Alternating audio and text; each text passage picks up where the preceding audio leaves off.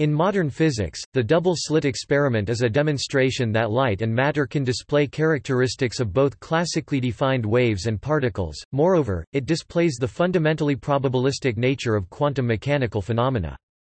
The experiment was first performed with light by Thomas Young in 1801. In 1927, Davisson and Germer demonstrated that electrons show the same behavior, which was later extended to atoms and molecules. Thomas Young's experiment with light was part of classical physics well before quantum mechanics, and the concept of wave particle duality. He believed it demonstrated that the wave theory of light was correct, and his experiment is sometimes referred to as Young's experiment or Young's slits. The experiment belongs to a general class of double path Experiments, in which a wave is split into two separate waves that later combine into a single wave.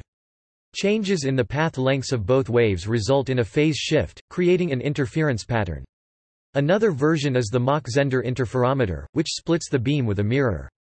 In the basic version of this experiment, a coherent light source, such as a laser beam, illuminates a plate pierced by two parallel slits, and the light passing through the slits is observed on a screen behind the plate. The wave nature of light causes the light waves passing through the two slits to interfere, producing bright and dark bands on the screen—a result that would not be expected if light consisted of classical particles. However, the light is always found to be absorbed at the screen at discrete points, as individual particles not waves, the interference pattern appearing via the varying density of these particle hits on the screen. Furthermore, versions of the experiment that include detectors at the slits find that each detected photon passes through one slit as would a classical particle, and not through both slits as would a wave. However, such experiments demonstrate that particles do not form the interference pattern if one detects which slit they pass through. These results demonstrate the principle of wave-particle duality. Other atomic scale entities, such as electrons, are found to exhibit the same behavior when fired towards a double slit. Additionally, the detection of individual discrete impacts is observed to be inherently probabilistic, which is inexplicable using classical mechanics. The experiment can be done with entities much larger than electrons and photons, although it becomes more difficult as size increases. The largest entities for which the double-slit experiment has been performed were molecules that each comprised 810 atoms whose total mass was over 10,000 atomic mass units. The double-slit experiment and its variations has become a classic thought experiment, for its clarity in expressing the central puzzles of quantum mechanics. Because it demonstrates the fundamental limitation of the ability of the observer to predict experimental results, Richard Feynman called it a phenomenon which is impossible, to explain in any classical way, and which has in it the heart of quantum mechanics. In reality, it contains the only mystery of quantum mechanics.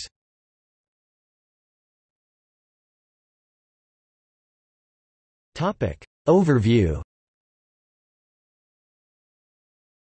If light consisted strictly of ordinary or classical particles, and these particles were fired in a straight line through a slit and allowed to strike a screen on the other side, we would expect to see a pattern corresponding to the size and shape of the slit.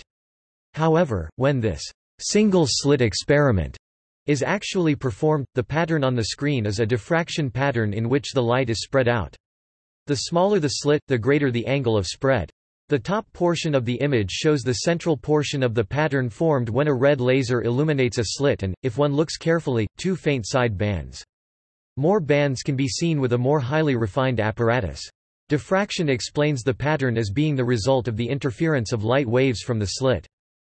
If one illuminates two parallel slits, the light from the two slits again interferes. Here the interference is a more pronounced pattern with a series of alternating light and dark bands. The width of the bands is a property of the frequency of the illuminating light. See the bottom photograph to the right. When Thomas Young (1773–1829) first demonstrated this phenomenon, it indicated that light consists of waves, as the distribution of brightness can be explained by the alternately additive and subtractive interference of wavefronts. Young's experiment, performed in the early 1800s, played a vital part in the acceptance of the wave theory of light, vanquishing the corpuscular theory of light proposed by Isaac Newton, which had been the accepted model of light propagation in the 17th and 18th centuries. However, the later discovery of the photoelectric effect demonstrated that under different circumstances, light can behave as if it is composed of discrete particles. These seemingly contradictory discoveries made it necessary to go beyond classical physics and take the quantum nature of light into account. Feynman was fond of saying that all of quantum mechanics can be gleaned from carefully thinking through the implications of this single experiment. He also proposed as a thought experiment that if detectors were placed before each slit, the interference pattern would disappear. The Englert-Greenberger duality relation provides a detailed treatment of the mathematics of double-slit interference in the context of quantum mechanics.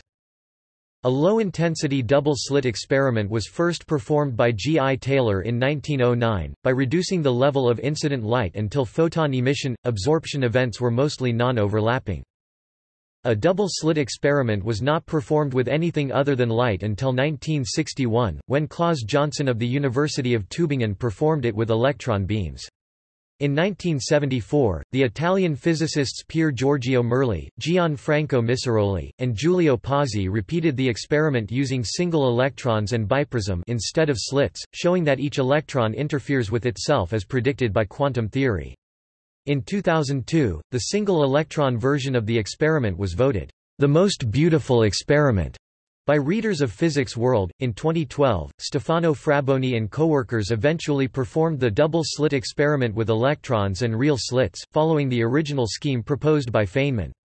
They sent single electrons onto nanofabricated slits about 100 nanometers wide and, by collecting the transmitted electrons with a single electron detector, they could show the buildup of a double-slit interference pattern.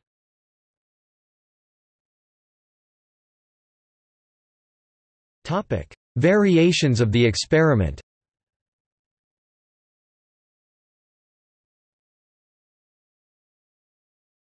Topic: Interference of individual particles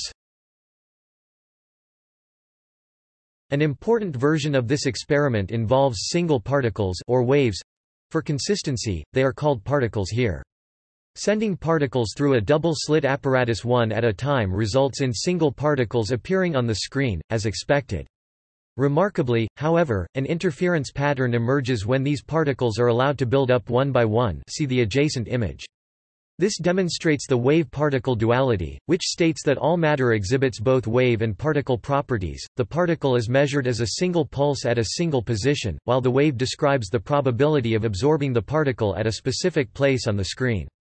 This phenomenon has been shown to occur with photons, electrons, atoms and even some molecules, including buckyballs. So experiments with electrons add confirmatory evidence to the view that electrons, protons, neutrons, and even larger entities that are ordinarily called particles nevertheless have their own wave nature and even a wavelength related to their momentum. The probability of detection is the square of the amplitude of the wave and can be calculated with classical waves see below. The particles do not arrive at the screen in a predictable order, so knowing where all the previous particles appeared on the screen and in what order tells nothing about where a future particle will be detected. If there is a cancellation of waves at some point, that does not mean that a particle disappears, it will appear somewhere else.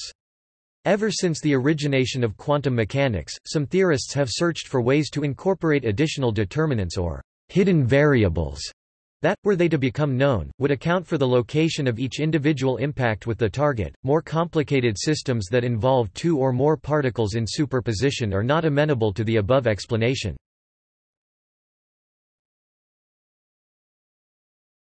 Topic: Which way? Experiments and the principle of complementarity. A well-known thought experiment predicts that if particle detectors are positioned at the slits, showing through which slit a photon goes, the interference pattern will disappear. This which-way experiment illustrates the complementarity principle that photons can behave as either particles or waves, but cannot be observed as both at the same time.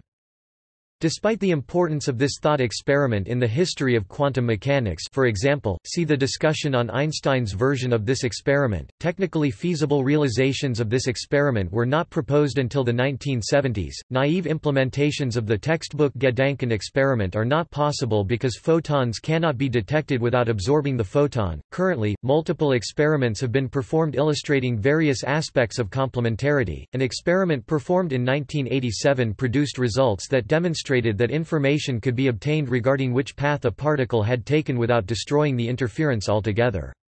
This showed the effect of measurements that disturbed the particles in transit to a lesser degree and thereby influenced the interference pattern only to a comparable extent. In other words, if one does not insist that the method used to determine which slit each photon passes through be completely reliable, one can still detect a degraded interference pattern.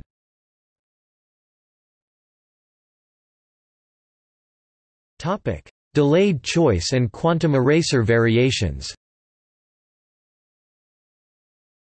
Wheeler's delayed choice experiments demonstrate that extracting which path Information after a particle passes through the slits can seem to retroactively alter its previous behavior at the slits. Quantum eraser experiments demonstrate that wave behavior can be restored by erasing or otherwise making permanently unavailable the which path information. A simple do-it-at-home illustration of the quantum eraser phenomenon was given in an article in Scientific American. If one sets polarizers before each slit with their axes orthogonal to each other, the interference pattern will be eliminated. The polarizers can be considered as introducing which path information to each beam. Introducing a third polarizer in front of the detector with an axis of 45 degrees relative to the other polarizers erases this information, allowing the interference pattern to reappear. This can also be accounted for by considering the light to be a classical wave, and also when using circular polarizers and single photons. Implementations of the polarizers using entangled photon pairs have no classical explanation.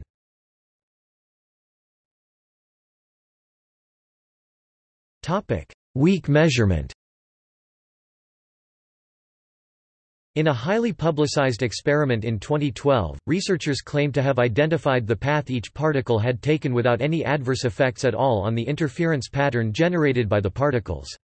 In order to do this, they used a setup such that particles coming to the screen were not from a point-like source, but from a source with two intensity maxima.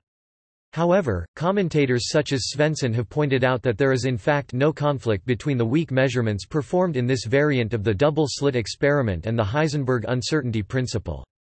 Weak measurement followed by post-selection did not allow simultaneous position and momentum measurements for each individual particle, but rather allowed measurement of the average trajectory of the particles that arrived at different positions.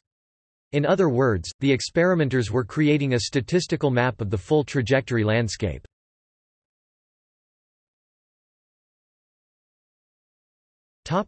Other variations In 1967, Pfleegor and Mandel demonstrated two-source interference using two separate lasers as light sources. It was shown experimentally in 1972 that in a double-slit system where only one slit was open at any time, interference was nonetheless observed provided the path difference was such that the detected photon could have come from either slit. The experimental conditions were such that the photon density in the system was much less than unity. In 1999, the double-slit experiment was successfully performed with buckyball molecules each of which comprises 60 carbon atoms. A buckyball is large enough diameter about 0.7 nanometers, nearly half a million times larger than a proton to be seen under an electron microscope. In 2005, E. R. Eliel presented an experimental and theoretical study of the optical transmission of a thin metal screen perforated by two subwavelength slits, separated by many optical wavelengths. The total intensity of the far-field double-slit pattern is shown to be reduced or enhanced as a function of the wavelength of the incident light beam. In 2012, researchers at the University of Nebraska-Lincoln performed the double-slit experiment with electrons as described by Richard Feynman, using new instruments that allowed control of the transmission of the two slits and the monitoring of single electron detection events. Electrons were fired by an electron gun and passed through one or two slits of 62 nanometers wide times 4 micrometers tall. In 2013, the double slit experiment was successfully performed with molecules that each comprised 810 atoms whose total mass was over 10,000 atomic mass units. Topic: Hydrodynamic pilot wave analogues. Hydrodynamic analogues have been developed that can recreate various aspects of quantum mechanical systems, including single-particle interference through a double slit. A silicone oil droplet, bouncing along the surface of a liquid, self-propels via resonant interactions with its own wave field. The droplet gently sloshes the liquid with every bounce. At the same time, ripples from past bounces affect its course. The droplet's interaction with its own ripples, which form what is known as a pilot wave, causes it to exhibit behaviors previously thought to be peculiar to elementary particles, including behaviors customarily taken as evidence that elementary particles are spread through space like waves, without any specific location, until they are measured. Behaviors mimicked via this hydrodynamic pilot wave system include quantum single particle diffraction, tunneling, quantized orbits, orbital level splitting, spin, and multimodal statistics. It is also possible to infer uncertainty relations and exclusion principles. Videos are available illustrating various features of this system. See the external links. However, more complicated systems that involve two or more particles in superposition are not amenable to such a simple, classically intuitive explanation. Accordingly, no hydrodynamic analog of entanglement has been developed. Nevertheless, optical analogues are possible.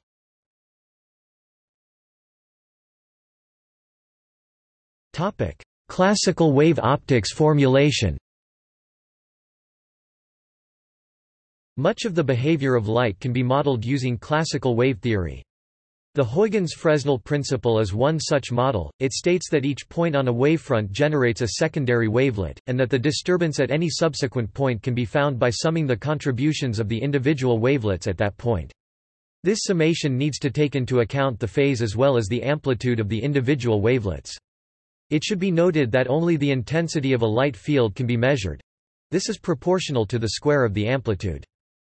In the double-slit experiment, the two slits are illuminated by a single laser beam. If the width of the slits is small enough less than the wavelength of the laser light, the slits diffract the light into cylindrical waves.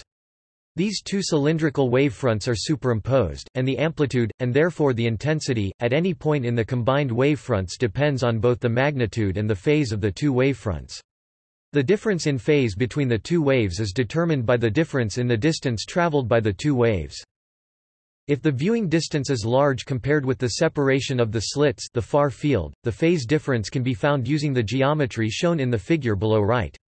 The path difference between two waves traveling at an angle theta is given by d sin theta approximately equals d theta display style d sin theta approximately d theta where d is the distance between the two slits when the two waves are in phase, i.e. the path difference is equal to an integral number of wavelengths, the summed amplitude, and therefore the summed intensity is maximum, and when they are in antiphase, i.e. the path difference is equal to half a wavelength, one and a half wavelengths, etc., then the two waves cancel and the summed intensity is zero.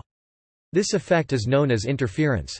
The interference fringe maxima occur at angles d theta n equals n lambda n equals 0 1 2 Display style tilde d theta underscore n equals n lambda tilde n equals 0 1 2 l dots where lambda is the wavelength of the light.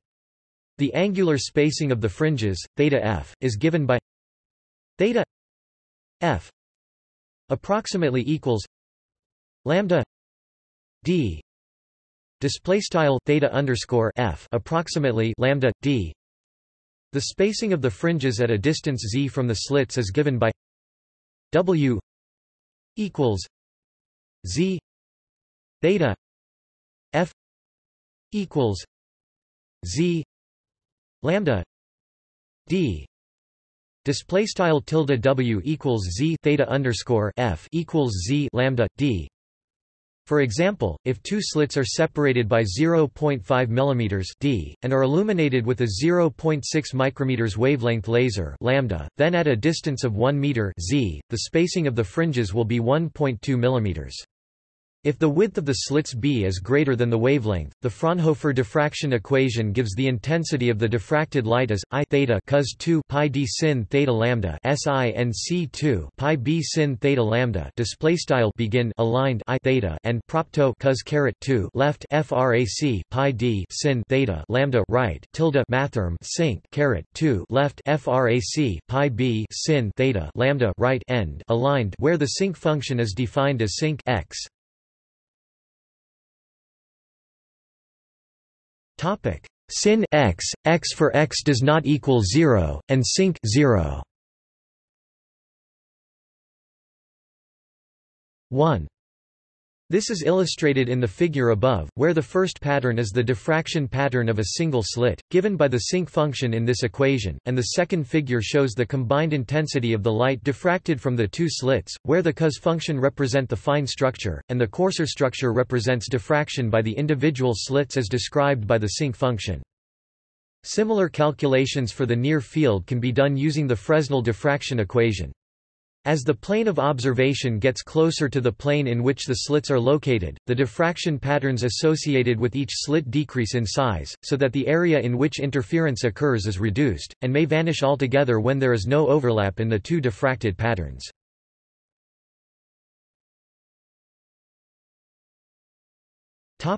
Interpretations of the experiment Like the Schrödinger's cat thought experiment, the double-slit experiment is often used to highlight the differences and similarities between the various interpretations of quantum mechanics.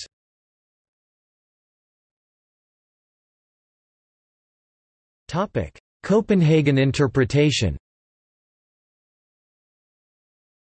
The Copenhagen interpretation, put forth by some of the pioneers in the field of quantum mechanics, asserts that it is undesirable to posit anything that goes beyond the mathematical formulae and the kinds of physical apparatus and reactions that enable us to gain some knowledge of what goes on at the atomic scale.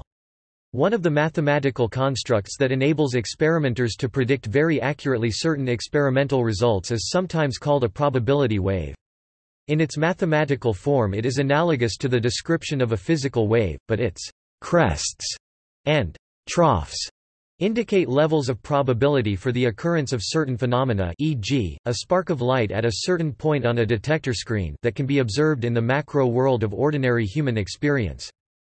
The probability wave can be said to pass through space because the probability values that one can compute from its mathematical representation are dependent on time. One cannot speak of the location of any particle such as a photon between the time it is emitted and the time it is detected simply because in order to say that something is located somewhere at a certain time one has to detect it.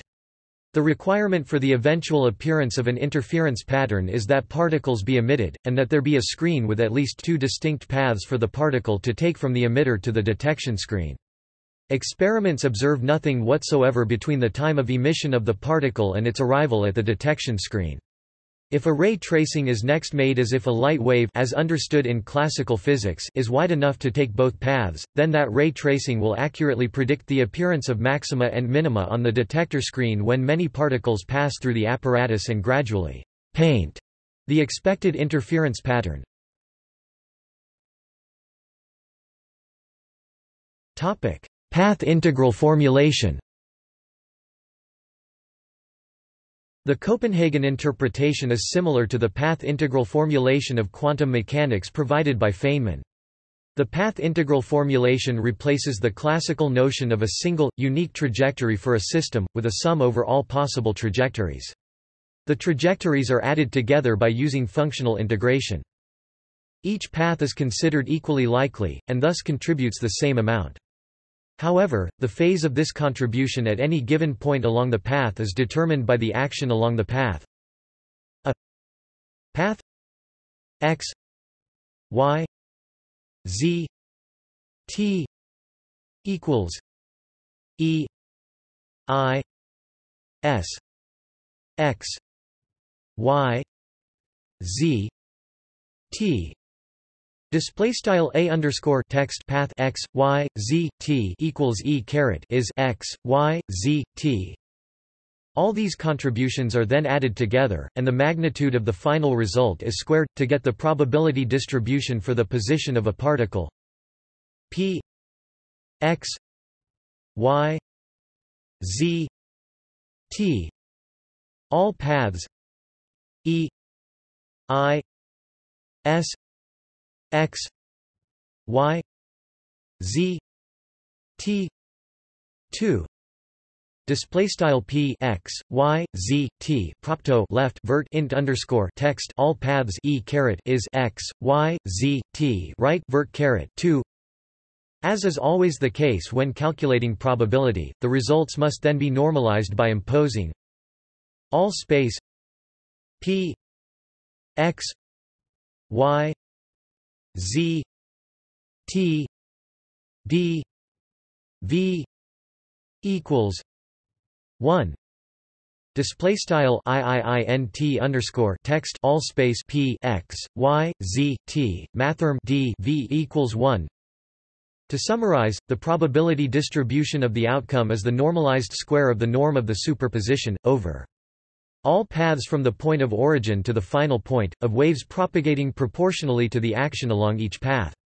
The differences in the cumulative action along the different paths and thus the relative phases of the contributions produces the interference pattern observed by the double-slit experiment. Feynman stressed that his formulation is merely a mathematical description, not an attempt to describe a real process that we can measure.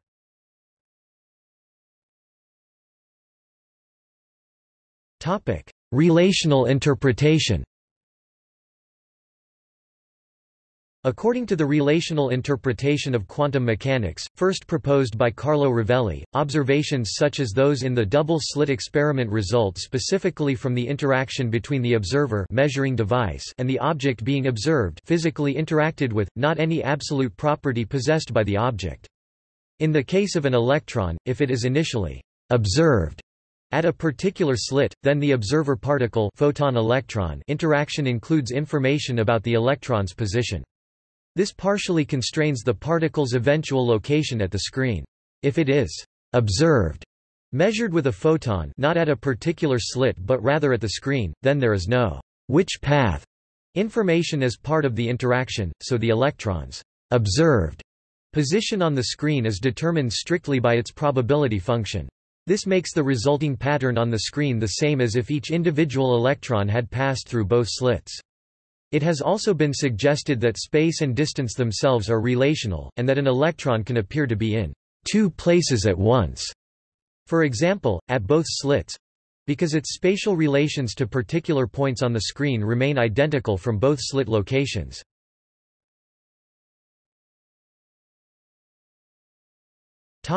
Many worlds interpretation Physicist David Deutsch argues in his book The Fabric of Reality that the double-slit experiment is evidence for the many worlds interpretation. However, since every interpretation of quantum mechanics is empirically indistinguishable, some scientists are skeptical of this claim.